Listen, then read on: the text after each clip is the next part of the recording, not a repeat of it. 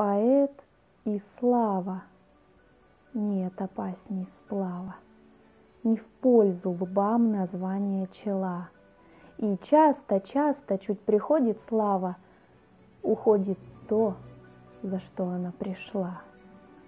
Жужжит и жалит слава, как пчела, С ней сладкий мед, с ней горькая отрава, Но яд целебный лучше выпить право, Чем сахарного вылепить осла.